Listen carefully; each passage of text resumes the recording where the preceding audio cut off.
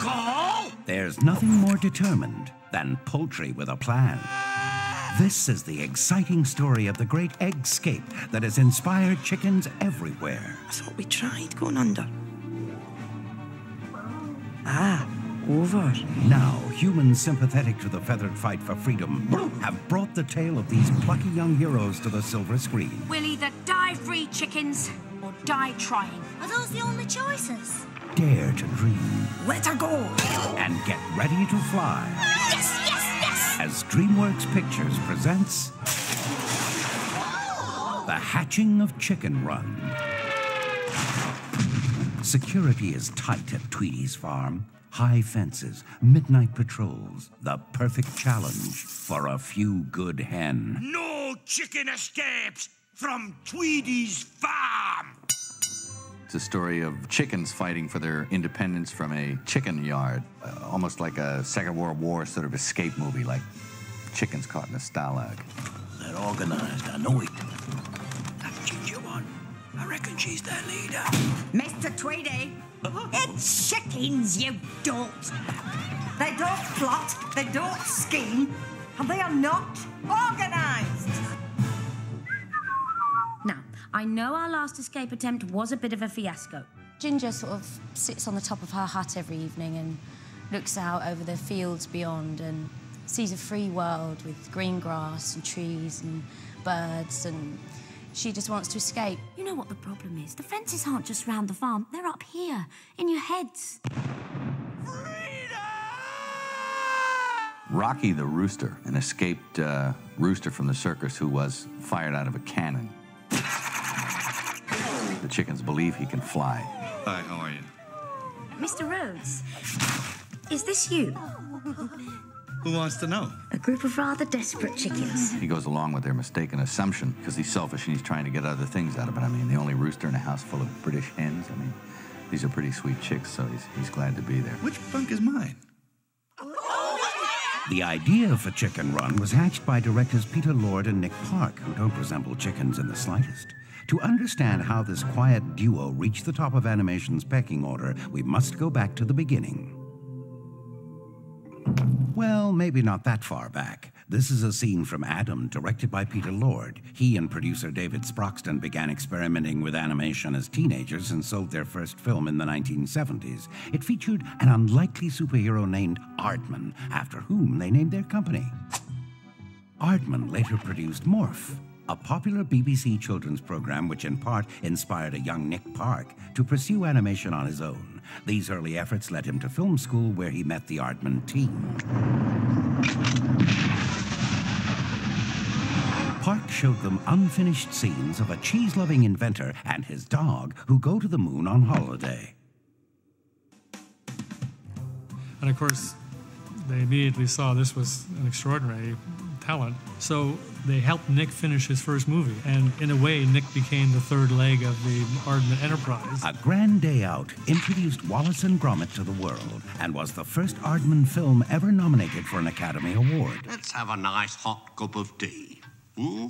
Sadly, it would lose to the second Aardman film ever nominated for an Academy Award, Creature Comforts, also directed by Nick Park. And uh, we don't like potatoes, we like meat. But even as Aardman continued to take clay animation to new heights with their innovative shorts and TV campaigns, one challenge remained. People have approached us a long time ago Yeah. now. Yeah. It's probably since the first Oscar. Uh, you know, we were approached to do a feature film. It was really because of the amazing perseverance of Jeffrey Katzenberg and, and his total and unequivocal commitment and passion for these guys and, and this project. Do we have a deal? You know, I think we're a very different animal. You know, we make a very different kind of film here, and and that's the good thing. I mean, Jeffrey and DreamWorks and seem to respect our individuality here. Chicken Run is a chance to really sort of blow out, in the best sense, the size, and yet to embrace the incredible detail and characters that are uniquely Aardman. Mrs. Tweedy! For almost three years, flocks of artists ran around like chickens with their heads cut off, scrambling to draw storyboards, build sets, and finalize character designs that would eventually allow the animators to create poetry in motion. Oh, my life! flashed before was really boring. Voices have always been very important to us and our, and our kind of filmmaking, you know, of our acting, of the animation of the character. It is inspired by and based purely on the actual voice and all the different little tricks and turns that the voice does. I'll teach you to make a fool out of me. Tony Haygarth plays Mr. Tweedy, the most henpecked farmer in all of Yorkshire. No chicken escapes from Tweedy's farm. Academy Award nominated actress Miranda Richardson plays Mrs. Tweedy, the meanest plucker chickens have ever known. She rules with a rod of iron and she just wants to make money. She's sort of, you know, thin and crabbed and pinched. And she's got a sort of vision uh, that life can be different somehow. This will take Tweedy's farm out of the dark ages and into full scale automated production. We've got to get out of here. To play our hero of the whole movie, Ginger, we have Julia Sawalha, who's probably best known from Absolutely Fabulous, playing Saffy.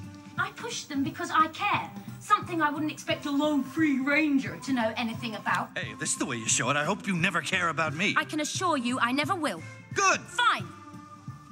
Opposite Julia, the dashing male hero Rocky is played by Mel Gibson, and uh, it seems a part more or less made for him. He gets to be the ultimate charming rogue. I thought you were going to teach us how to fly. Hey, do I tell you how to lay eggs? Relax. Completing the dirty half dozen are Ben Whitrow as Fowler, retired mascot to the Royal Air Force. Quiet, I say! Champion egg layer Bunty, played by Shakespeare in Love's Imelda Staunton. Finally, we get to see a real professional in action. Babs, a chicken with more nit than wit, played by Little Voice's Golden Globe nominee Jane Horrocks. I don't want to be a pie. I don't like gravy. And Mac, the science whiz, played by Lynn Ferguson. This is us, right? We get in like this, wind her up, and let her go. Oh! It's really weird when you hear your voice coming out of a chicken. Do you know, like if you watch that and I go, that chicken's got my voice. What happened to my wing? And spring the anterior tendon connecting your radius to your humerus. I gave her a wee bit of a tweak, Jimmy, and wrapped her up. Was that English? When you start recording, you really got nothing to go on. I mean, you have no image to go on, or uh, so they have to uh, verbally explain things to you. Kind of more visual. The, the machine is an enormous machine. It's kind of the, the Death Star of chickendom. Look at the size of that thing. And um, Ginger's been hung by her feet by the shackles. Mr. and Mrs. Tweedy have left you there. They've turned the machine on. Chickens go in. Pies come out. And you're, you're just thinking, uh, where's Rocky? Rocky! I'm coming. Hurry! Uh, I'm getting there. Uh, with you in a minute. It's a little bit of a leap to make, and you're kind of just a little bit lost. But as as uh, time goes by, you sort of narrow down. I'll be down before you can say mixed vegetables. I'll be right down. Now that I've actually seen some footage, it's it's tremendously helpful. I'll be down before you can say mixed vegetables. I'll be down before you can say mixed vegetables. Ah!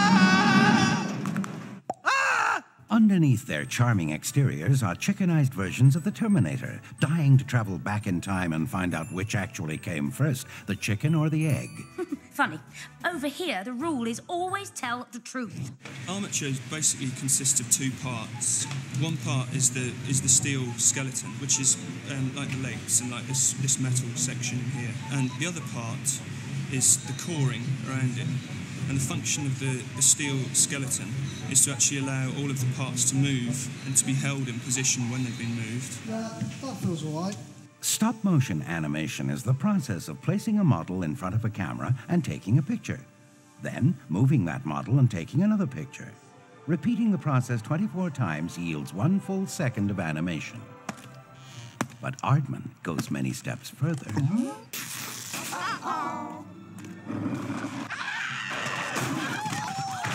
State of the art cinematography and production design allow the filmmakers to shoot animation as if it were live action, bringing the viewer fully into the miniaturized realm.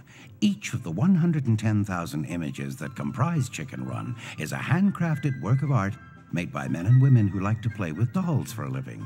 To me, it looks really glossy, and the sets and the lighting and everything is incredible. I mean, the mood on the whole thing, you know, it's very atmospheric. And when you realize how it's done, it just, it's mind blowing, you know, bit by bit. And the pig says to the horse, Hey, fella, what a long face?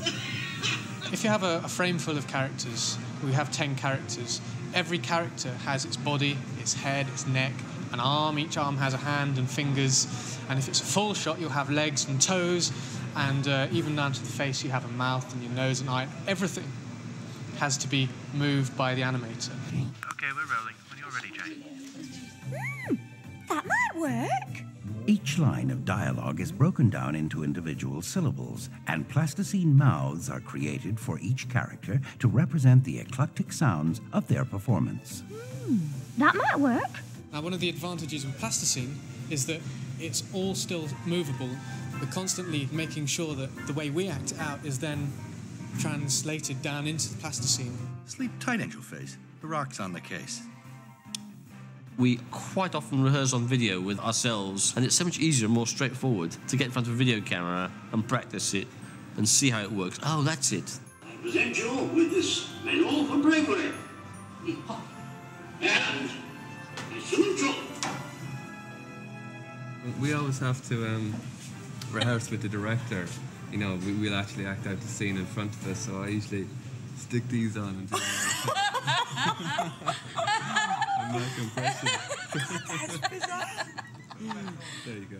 Try one. All right. For Say Scotland. Scotland. Scotland. What really distinguishes Aardman's work, not so much the dialogue or the action, but the expressions. The eyebrow that goes up, eyes that have that quizzical look, or the frown.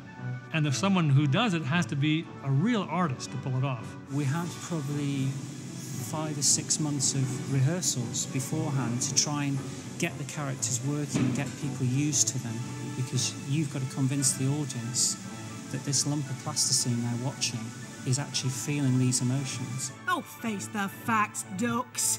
The chances of us getting out of here are a million to one. Then there's still a chance. Mm, Oh, yeah, that yeah. was brilliant. Yeah, that Look was- out for her eyes. That's excellent. That's the bit. She's just trying to salvage the last bit of pride she has, really. I love the scene with Rocky and Ginger on the rooftop. You know, that hill is looking closer tonight than it ever has before. That little small moment, you know, I think is the heart and soul of the movie. It's the turning point. After years of hard work, the finished film finally began to take flight. In the quite likely event of an emergency, put your head between your knees and kiss your bum goodbye. It took over 4,000 pounds of plasticine and 10,000 gallons of tea for these artists and performers to bring Chicken Run to life. On average, each artist managed to complete two and a half seconds of animation each day. There are over 110,000 separate shots in this movie. Think about it. It's over 110,000 separate shots. If you appreciate the complexity, you are overwhelmed by the achievement. And I think that I'd like to see people come away with an amazing sense of wonder.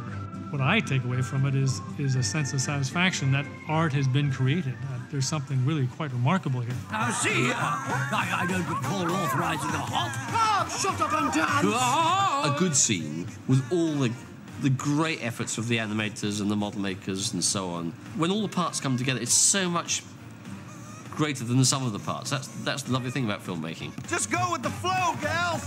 Let it go.